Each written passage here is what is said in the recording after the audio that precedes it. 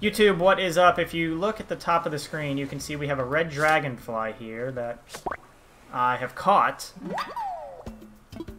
And I've got to say, the red dragonflies are not nearly as hard to catch as the banded. They're not as quick. I don't know if you kind of saw. Um, it wasn't really moving all that fast.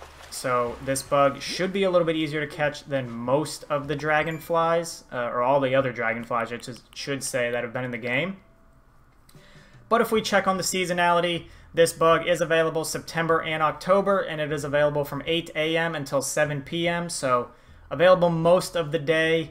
Um, you're really just going to have to kind of keep an eye out for it, uh, because the dragonflies, at least from what I've found, uh, don't really seem to spawn near anything in particular. They just kind of dart around the island.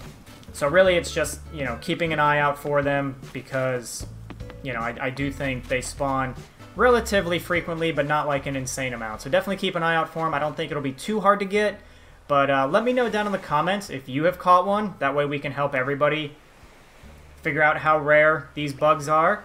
And uh, also, if you all wouldn't mind dropping a like on the video and subscribing to the channel, that way you'll know when I post new videos. I would greatly appreciate that. And with that, good luck catching a red dragonfly.